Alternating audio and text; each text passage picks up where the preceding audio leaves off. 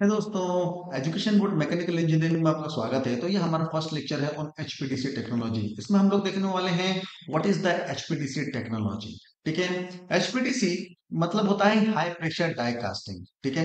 Basically metal के component को बनाने के लिए एचपीडीसी टेक्नोलॉजी का इस्तेमाल किया जाता है। जनरली अगर मैं बात करूँ तो मोल्टेन मेटल को एक डाई के अंदर हाई प्रेशर के साथ प्रेस किया जाता है और फिर उसके बाद आफ्टर कूलिंग आपको एक कंपोनेंट प्राप्त होता है। ठीक है?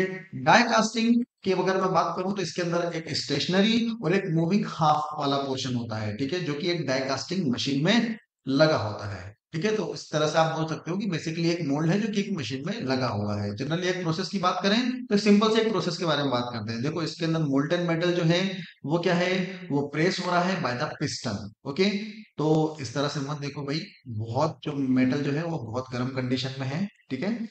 ओके ठीक है एचपीटीसी मशीन की वर्किंग को समझते हैं।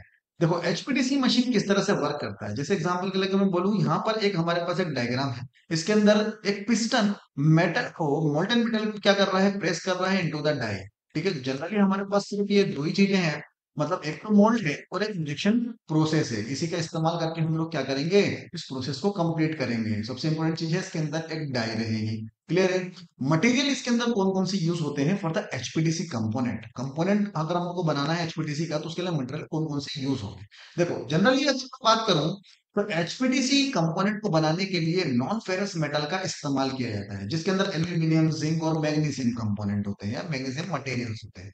बाकी अगर फॉर एग्ज़ाम्पल कोई स्पेसिफिक रिक्वायरमेंट है या एप्लीकेशन है तो उसके हिसाब से आ, उसके अलॉय का भी हम लोग इस्तेमाल करते हैं for enhancing the mechanical property mechanical property को बढ़ाने के लिए, उसकी कॉस्ट को डिक्रीज करने के लिए वेट कम करने के लिए कोरोजन रेजिस्टेंस को बढ़ाने के लिए। ओके जनरली अगर बात करूँ तो एल्यूमिनियम और जिंक इसके लिए इस्तेमाल किए जाते हैं। ठीक है? बात करता हूँ एल्यूमिनियम एलॉय की। ठीक है? जो कि एक मटेरियल है। एल्यूमिनियम जनरली सबसे ज़्यादा इस्तेमाल किया जाता है एचपीडीसी कंपोनेंट को बनाने के लिए। क्यों? क्योंकि इसका जो बेसिकली एक लाइट वेट है स्ट्रेंथ टू वेट रेशियो इसका बहुत ज़्यादा अच्छा है, इसका कोरोजन रेजिस्टेंस भी बहुत अच्छा है राइट और एक्सीलेंट इसके अंदर क्या है? थर्मल कंडक्टिविटी है। ठीक है दैट्स वाई एल्यूमिनियम का इस्तेमाल किया जाता है। एल्यूमिनियम से एक बार आपकी मुलाकात करवाते हैं। ठीक है हेलो ठीक है तो अगर मैं बात करूँ तो एग्ज़ाम्पल में एल्यूमिनियम की जो अलाय रहेंगे वो A three eight eight zero A three eight three A three six zero और ए डी सी ट्वेल्व तो generally depending upon the specification और आप बोल सकते हो कि प्रॉपर्टी ऑफ़ द मटेरियल ये अलग अलग जगह पर इस्तेमाल किए जाते हैं। ओके चलो। कॉपर एलॉय के बारे में बात करें तो कॉपर बेस्ड अलॉय भी हम लोग इस्तेमाल करते हैं। डिपेंड करता है कि एप्लीकेशन कंपोनेंट क्या क्या है। क्योंकि अगर मैं कॉपर का इस्तेमाल कर रहा हूँ तो उसकी इलेक्ट्रिकल कंडक्टिविटी बहुत ज़्यादा इंपॉर्टेंट रोल प्ले करेगी।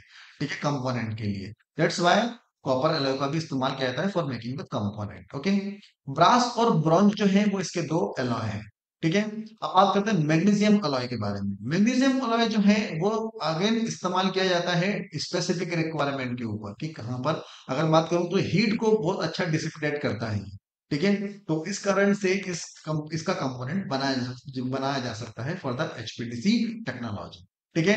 जनरली अगर मैग्नीशियम एलॉय की बात करें तो A Z nine one B और A M six zero B का इस्तेमाल किया जाता है। ओके जिंक अलॉय में बात करूँ तो जिंक अलॉय के कंपोनेंट अधिकतर बनाए जाते हैं और एक बहुत ज़्यादा पॉपुलर मटेरियल है for the HPDC technology dimension accuracy बहुत ज़्यादा अच्छी आती है अगर मैं जिंक अलॉय का इस्तेमाल करता हूँ। क्लियर ठीक है? जमक थ्री और जमक फाइव ठीक है? जनरली जिंक अलॉय में हम लोग इस्तेमाल करते हैं फॉर द एचपीडीसी कंपोनेंट चले अब बात करते हैं एचपीडीसी मोल्ड टूल की वर्किंग की, कि भाई एचपीडीसी मोल्ड का टूल जो होता है, वो वर्क किस तरह से करता है? तो उसके बारे में हम लोग देखने वाले हैं। चले तो यहाँ पर देखते हैं, हमारे पास एक डाई है, ठीक है? इस डाई के अंदर मैं बात करता हूँ, एक फिक्स्ड हाफ़ है और एक मेरे पास मूविंग हाफ़ है, ठीक है? जनरली ये जो अभी मोल्ड आपको दिख रहा है एचपीडीसी डाई दिख रही है ओपन कंडीशन में ठीक है? मैं क्लोज कंडीशन में लेके आता हूँ, यह हमारा रहेगा स्टेप वन जिसके अंदर मटेरियल क्या रहेगा? इसके अंदर फील हो जाएगा स्टेप टू में मटेरियल इंजेक्शन इन प्रेशर ठीक है? हो गया उसके बाद स्टेप थ्री और कंपोनेंट क्या होगा? इजेक्ट होगा from the mould by ejection process okay तो यहाँ पर इस कंपोनेंट को पूरी तरह से हम लोग बाहर कर देते हैं। तो बेसिकली जिस तरह से मोल्ड की प्रोसेस होती है, उसी तरह से इसकी भी प्रोसेस होती है। अगेन हम लोग इसको क्लोज करेंगे और प्रोसेस को रिपीट करेंगे। Importance of HPTC technology HPTC technology का इंपॉर्टेंस क्या है? उस चीज़ को हम लोग समझते हैं। देखो, कहाँ कहाँ पर इसका इंपॉर्टेंस है? जनरली अगर बात बात करूँ एचपीटीसी टेक्नोलॉजी के बारे में तो एचपीटीसी टेक्नोलॉजी के लिए ये कुछ इंपॉर्टेंट पॉइंट्स है। एफिशिएंट मास प्रोडक्शन अगर मुझे मेटल के कंपोनेंट को अगर क्रिएट करना है तो मेटल कंपोनेंट को मास प्रोडक्शन में करने के लिए एचपीडीसी डाई का इस्तेमाल किया जाता है। कॉम्प्लेक्स ज्योमेट्री के कंपोनेंट को अगर क्रिएट करना है राइट? तो भी हम लोग एचपीडीसी टेक्नोलॉजी का इस्तेमाल करते हैं। फॉर एग्ज़ाम्पल अगर मैं ग्रेविटी कास्टिंग का इस्तेमाल करके कोई कंपोनेंट बनाता हूँ तो उसमें मुझे फिर से मशीनिंग करनी पड़ेगी। और कॉम्प्लेक्स ज्योमेट्री को अगर मुझे बनाना है तो एचपीडीसी टेक्नोलॉजी का इस्तेमाल करेंगे।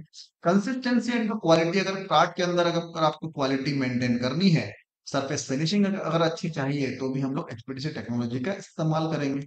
ठीक है? Reduce post processing as I told you अगर जैसा मैंने आपको बताया कि भाई ग्रेविटी कास्टिंग का इस्तेमाल करोगे तो आपको कुछ बार या फिर फ्लैशेस वगैरह को रिमूव करना पड़ेगा कंपोनेंट को फिनिश करने के लिए। तो फिर से मशीनिंग करनी पड़ेगी। तो पोस्ट प्रोसेसिंग को रिड्यूस करने के लिए भी हम लोग एचपीडीसी टेक्नोलॉजी का इस्तेमाल करते हैं। ठीक है? आई होप आपको समझ में आ रहा है। नहीं।